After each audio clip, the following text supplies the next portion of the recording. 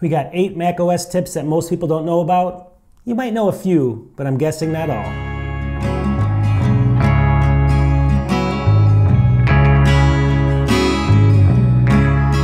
Welcome back to the video. So I'm just gonna jump into it right away. I got eight different macOS tips that I'm guessing not everyone's gonna know about. You're gonna know some of these maybe. I'm guessing most people only know 50% or less though. Put in the comments if you knew these or not. Without further ado, I'm just gonna share my screen here. I'll jump in from time to time. Let's get into it. All right, so for tip number one, I'm gonna go down here, I'm gonna open up a Finder window. Just watch this. So we're gonna go to Documents. Now, if you see this little arrow right here, this little right arrow here, if you click on it, obviously it opens up everything underneath it in list view. So you basically open up a folder and you can see all the subfolders. But see how there's some files that might still be under these subfolders? Like if I click on this arrow now, it lists a couple additional files.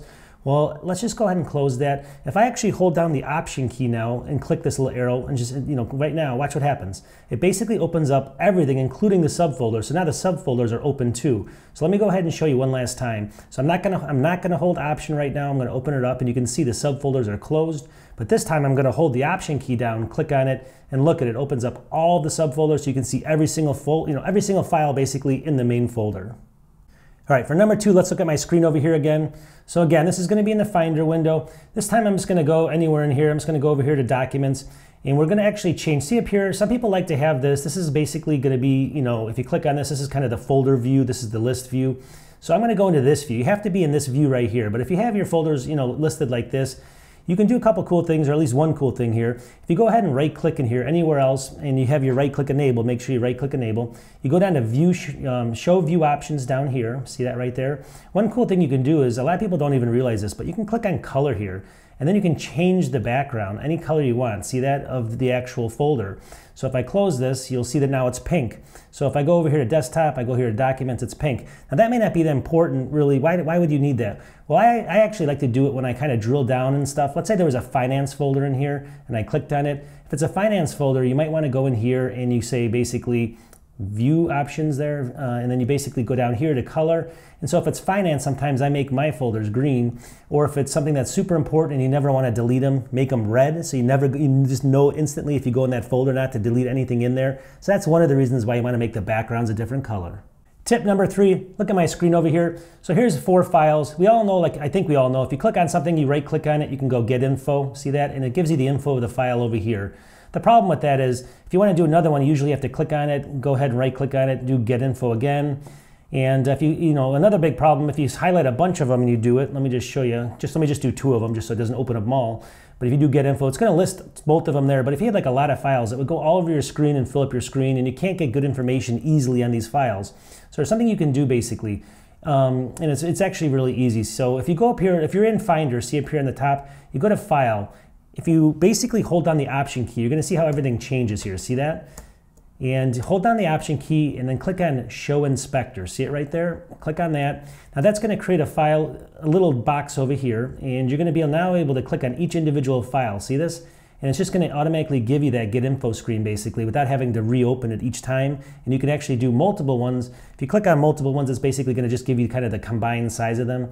Um, but if you just delete it there with the little X it'll go away. But that's how you open an inspector. It's kind of an inspector window they call it. And then you don't have to go through and kind of right click and get info on each individual file. You can just go right down the list and they're just going to open up perfectly for you all right tip number four seems like it's super easy but a lot of people don't even know this exists just watch this so if you go into, uh, let me go in here right now. So I'm basically, I'm in, in Finder, I'm just in Recents. Let's just go to a folder that makes sense here. So I'm in here, and this is gonna be my Documents folder. Now a lot of people, if you right click on something like this, you can go down to rename the file, right? And a lot of times you do that, but then it's time, sometimes it switches back and you, you have trouble just renaming the file. You have to do it a couple times. Other times people click on it, they go all the way up here and they go to, you know, they, they actually go to, you know, file and they can rename it here as well. But those are a lot of different steps.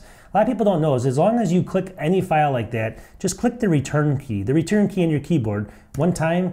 And as soon as you do that, just start typing. And what it's going to do is it's going to let you rename the file instantly. So the return key, so all you have to do is just click on any file in here. I'll click on the same one, click on return, and then you can just do this, you know, screen shot, whatever you want to do. Hit enter, it's renamed right there for you, and you don't have to go up to that, you know, menu system and trying to figure out how to rename files. Just hit the return key and start typing. All right, number five is another easy one. So let's go down here. We're gonna open up Finder again. So if you have a window like this and you're in list view like I am here, and you'll notice that I have all this space in here and you know, so these things are kind of spread out. But instead of going over here, you know you can always pick this over here, drag this over, I'll show you really quickly, but you can drag this line here, see that? Everyone knows about that, I think. A lot of people don't know about this little tip. If you go up here, instead of dragging it, just double click it. Watch this, one, two. It'll automatically resize this category so that it fits basically your longest file. So, you know, any of these any kind of these different um, columns that you have, you just double click on that line and it'll automatically shrink it to the size that makes sense based on the longest file in there so that you're not kind of covering anything up, but you're not having too much space. It's super simple, but a lot of people don't even know that exists. All right, let's see number six here. This is kind of helpful, I guess, but if you go in here, again, here we are, and let's just double click this again, and we're gonna resize that. So I'm in here and I'm clicking on these different files, but I don't really know what they are again, so I, I can't see like a little picture of them or anything like that. Well, obviously, a lot of people know about this one, but sometimes they have it turned off. What you want to do is you just want to go in here, you want to go up to View up here, and then Show Preview. See that right there? Show Preview, click on it. What it's going to do is now if I click on any of these things over here, it's going to show me all the information about that file, but including like a little screenshot. It makes more sense when you're doing graphics, like this is a graphic. So if you want to see what the graphic looks like without actually, you know, this is too small, the little icon next to it, just open that up and you can show, uh, you know, you just show the preview of the file, plus a lot more information about it, all your tags and everything if they're in there. And then all you have to do is if you want to get that off, you just go up to View, Hide Preview right there. It's going to go away and uh, you can close everything down and that's all there is to it. All right, for number seven, this is another easy one, and I have two files selected on my screen here. You can see them. We all know that you can kind of right-click here, you can copy this, right? Or you can actually just go up to, um, you know, edit and then copy two items, right? But before I do that, let me just show you something that's kind of cool. So first of all, let's just, well, actually, let me just copy them first. So I'm gonna go up to edit up here and then copy these two items, or I could do Command C, that does the same thing, right? So if you go over to another folder over here though, and I want to paste them in, I can obviously right click, I can click paste the two items, there it is right there. I'm not going to do that though. I can also go up to, um, let me just see here, edit, and I can paste the two items there. But before I do that, watch this. Hold the option key down right now before I hit this paste two items it's going to change move to two items. See that? So instead of pasting them, which means they're going to copy them over, you can move them, which means they're going to remove them from the first folder and actually move them over. So that's all done by holding the option key down. See that? If I hit the option key, it gives me the option to move them. If I just leave it open, it just pastes them. You can also do the same thing over here if you basically, now if you're gonna right click, obviously you can paste them, right? But one thing you can do with the command here, and let me just make sure I get this right, it's Option Command V. So if you do Option Command and V to paste instead of just Command V, with the, you have to hold the Option key down, it'll also move them instead of just copy them. So that's the two different commands you can use there. And I don't know if that's useful or not, but it's just something that I've learned and I use quite a bit. All right, and the eighth tip, and I always like to do short tips like this so people can remember these. I don't like to do a hundred or something. But another tip you can do is if you open up a Finder window, watch, I open up a brand new Finder window. A lot of people always, it just defaults to the recents folder here. And a lot of people always say, well, what can I do to change that? I don't want to always see the recents. I want it to go directly to my documents folder, all right? Well, that's actually really easy. So all you have to do then is in Finder up here, you go to settings, see it right there, and you open that up. Make sure that you go to General now, the General button right here, and then you go down here, right here. New uh, Finder window opens.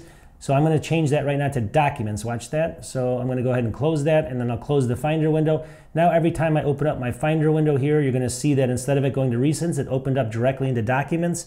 And you could pick any folder you want in there. You can drill down, pick any folder. But that's what I like to do. So if you're always working on projects where you kind of always go into that folder, you just don't always want to see Recents, just change it right there, and it's super simple. All right, so let's wrap this video up. And I always keep these short because I want people to be able to kind of look at them, absorb them instead of giving you tons of them, right? If I give you even 20 of them, they're impossible to remember. So these things are always useful. Kind of, you know, you just have to do them repetitively over time. You remember the keystrokes and stuff.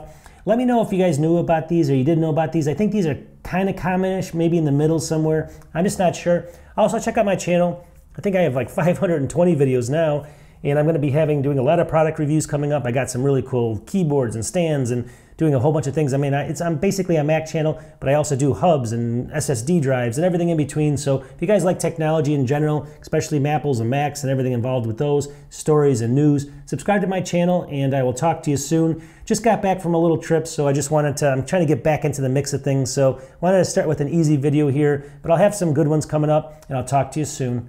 Peace.